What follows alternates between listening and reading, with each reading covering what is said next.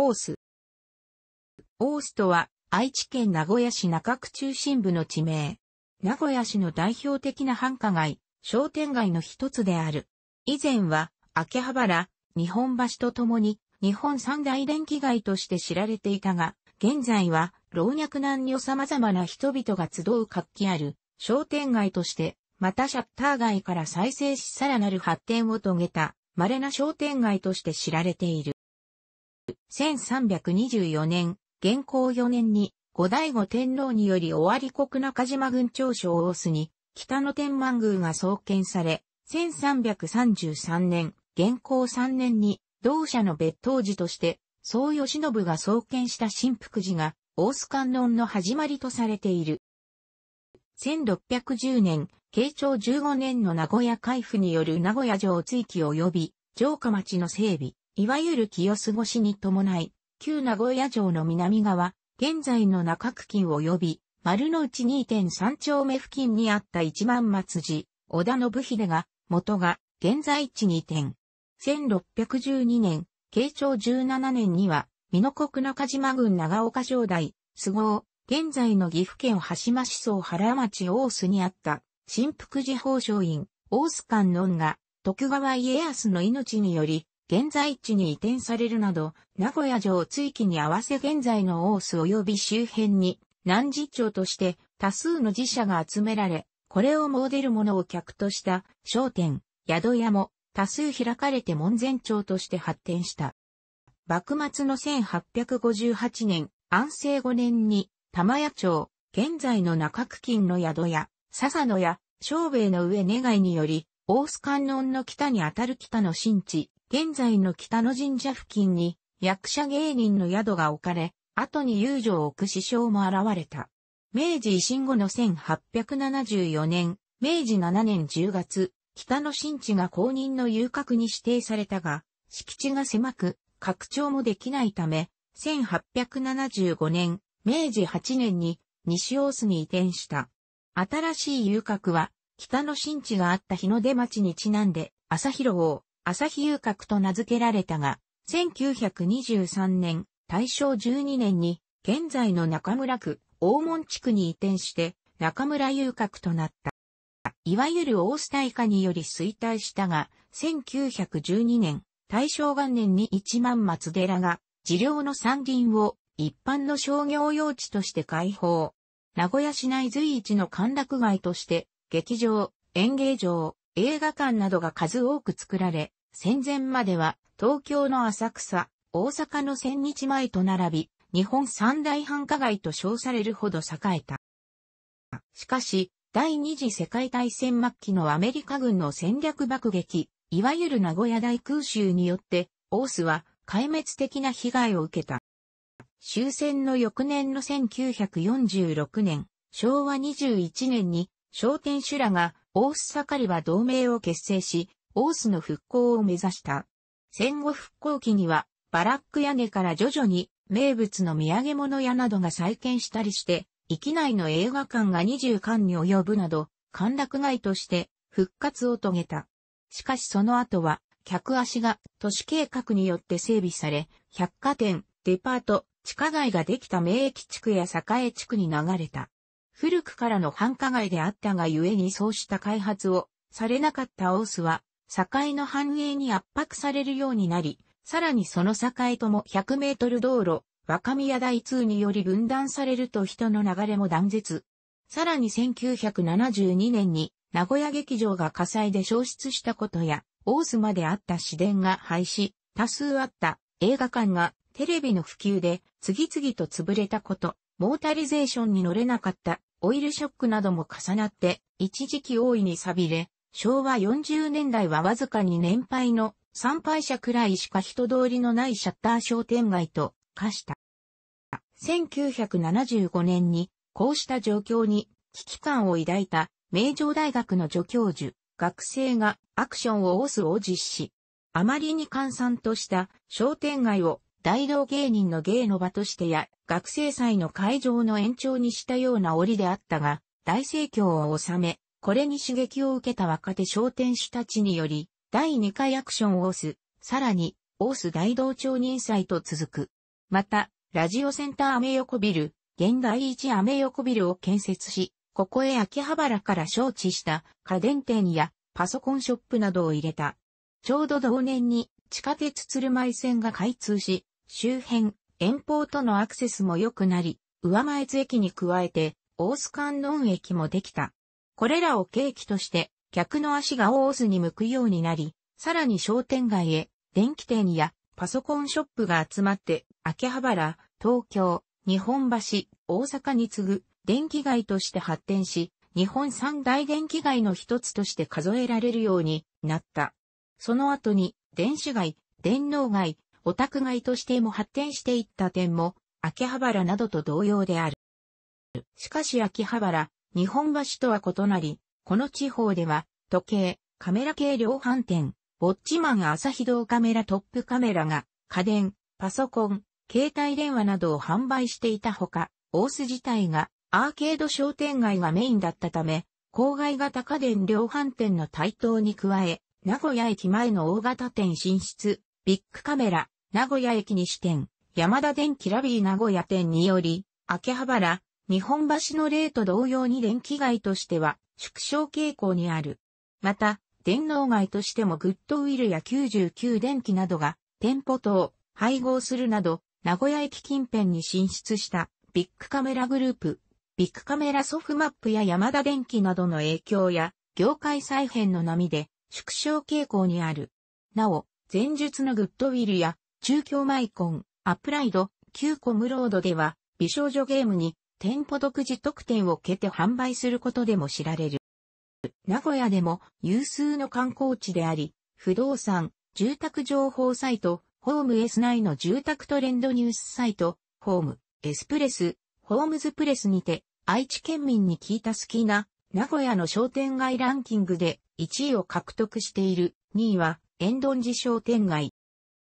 他の電気街と同様に、オタク街としても発展しており、その歴史も長く、古くは、同人ショップが全国化する10年以上前から、D カルトが存在していた。メイド喫茶もあり、お帰りなさいませ、ご主人様の挨拶は、大須の M、S メロデが発祥とされる。東京の秋葉原や大阪の日本橋でメイド産業が発展していた2000年代のうちは、大須のメド喫茶はその店のみ、もしくはその店を含めて2から3店舗のみであった。しかし、2010年を過ぎたあたりからモエリーグループや妹喫茶、リトルシスターの系列店舗などが複数オープンし、急激に店舗数が増加。断層喫茶や妹喫茶、ガンダムバーなどメイド以外のコンセプトカフェ、バーやリフレ店もあり、2013年春の時点で15店舗前後ある。店舗が少なかった時期は、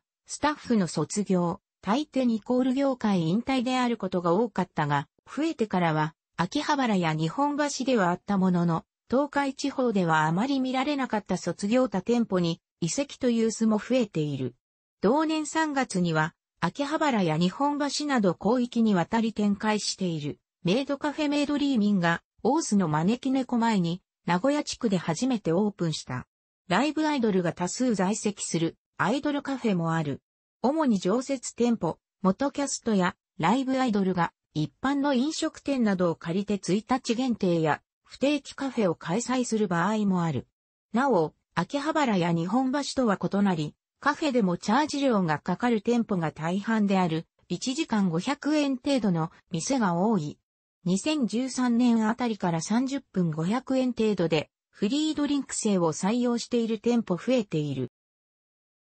2010年からは、地元、オースを代表する、ローカルアイドルグループ、OSU が活動を開始、以後、カムフラージュや BSJ といったアイドルグループが続々と登場している。中でも OSU は、月数回商店街で路上ライブを開催するなど、非常に人気を集めている。また、ニオーモン2では、SKE48 の PV 撮影が行われた。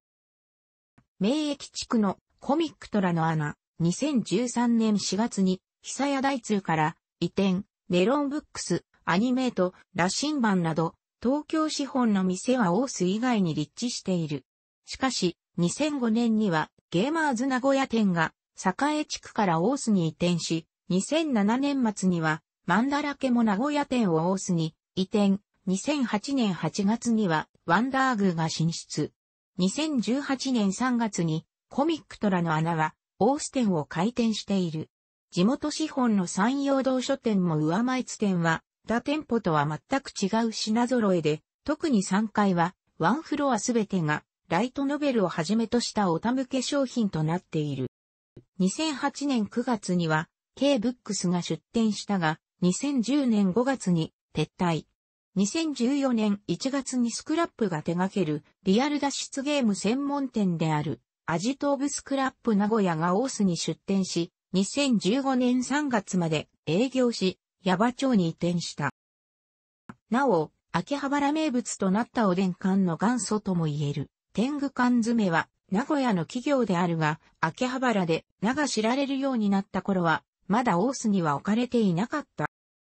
寺町として、現在でも大須及び周囲には、大須観音、万象寺、七寺、北野神社、若宮八幡社、栄国寺など、多数の自社仏閣があり、自社巡りや御朱印集めのスポットとしても人気がある。高齢者も多く訪れるので、これに向けた名物や中高齢者向け衣料品店などもある。米表、ヤバトン、大須色、青柳色の本店、本社も大須にあり、これらをはじめとした中古品売買店、名物の飲食店や通常の飲食店、お土産物の店舗も多数ある。古くには線以外でもあっただけに、現在でも衣料品の店舗が多く、若者向けの衣料品店や古着屋も多く出店する。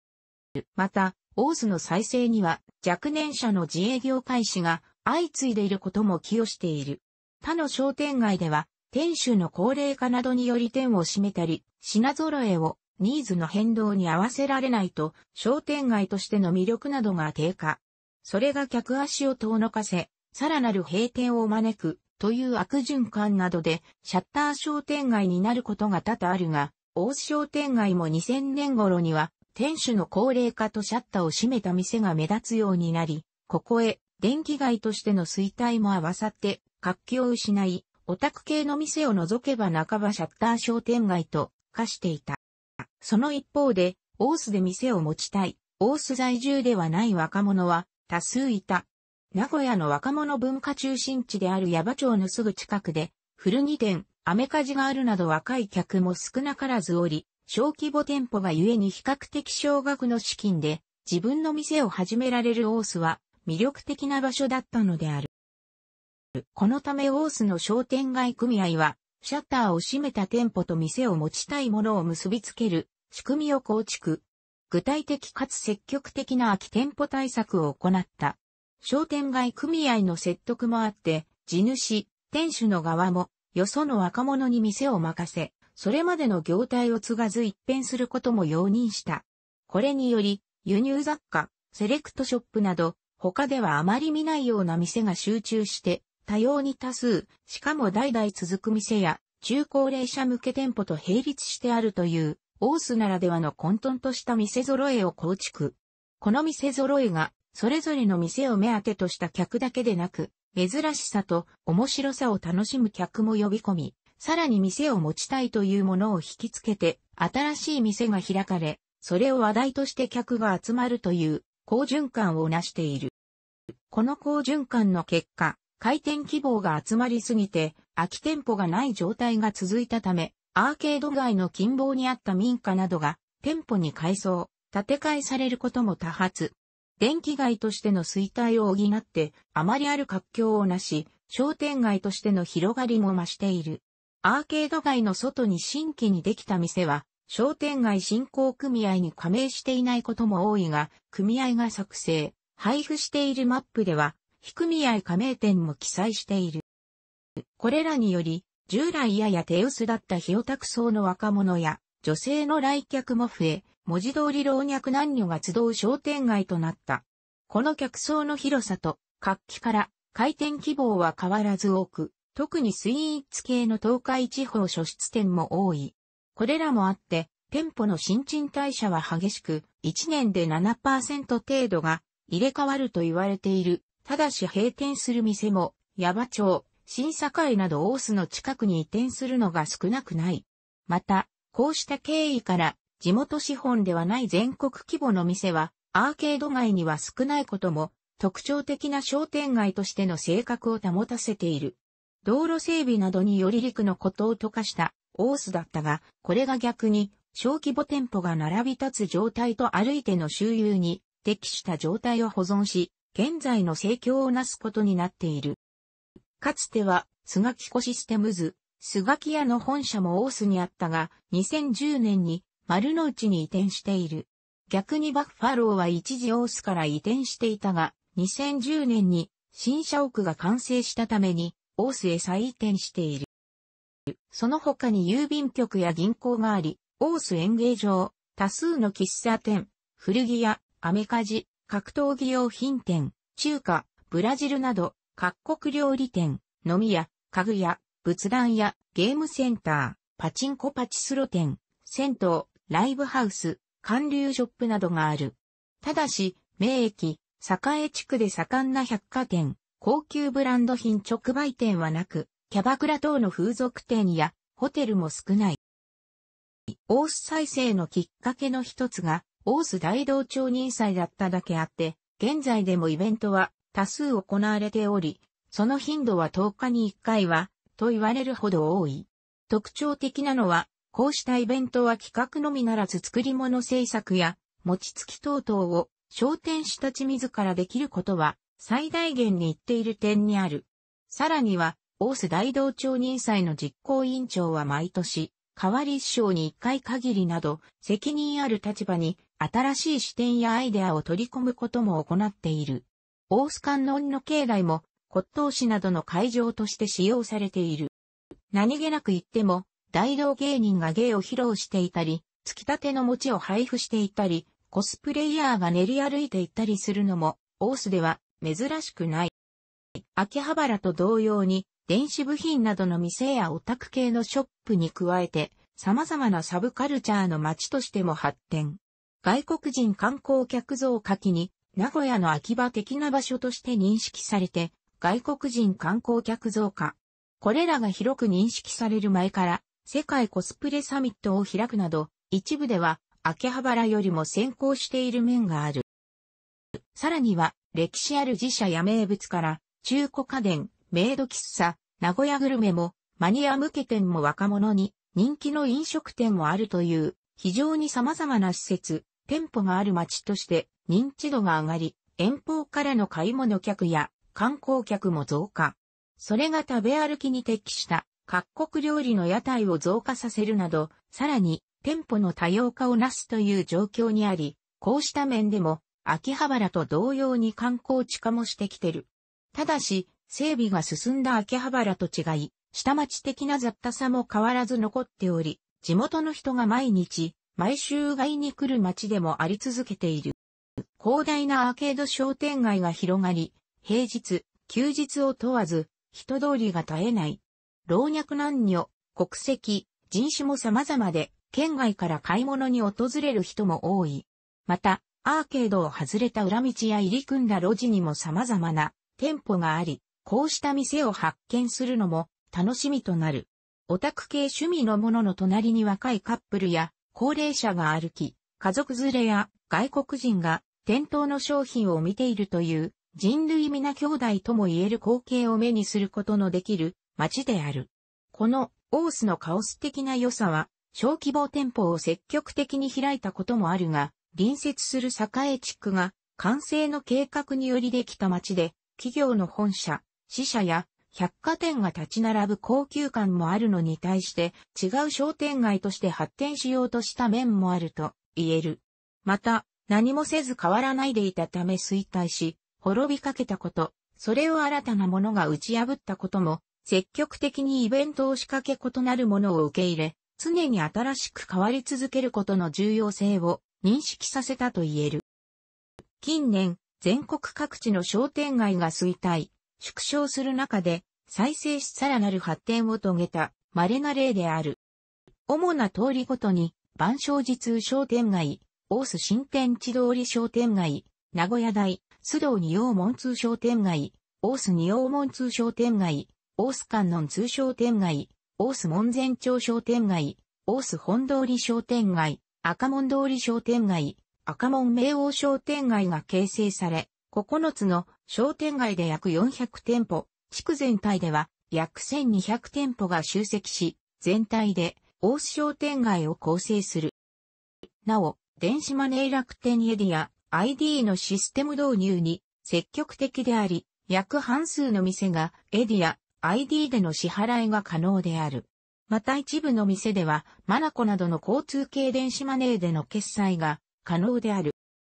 大須商店街は、個人や少人数で経営している店がほとんどで、こうした店は、昼から夕方が営業時間の中心で、閉店時間が早めである。そして長時間営業しているフランチャイズ店や夜から深夜をメインとす風俗店、飲食店は少ないため、非常に多数の店舗がある割に開いている店が大きく、減る時間がやや早いことには留意する必要がある。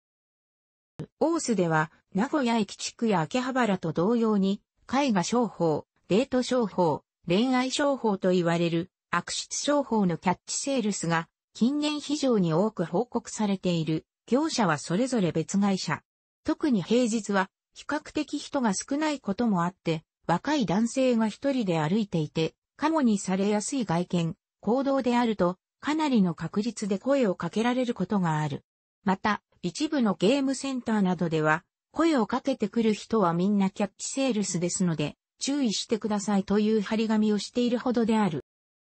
地域概念としてのオースは、オース2、南側、オーツ2、東側、伏見2、西側、国道19号、若宮大2、北側の4つの道路に囲まれたエリアを指すことが多く、この範囲は、大須商店街として知られる。地名としての、大須は、東西を堀川と新堀川、南北を大須2と若宮台2に囲まれた地域であり、大須1丁目、大須2丁目、大須3丁目、大須4丁目が存在する。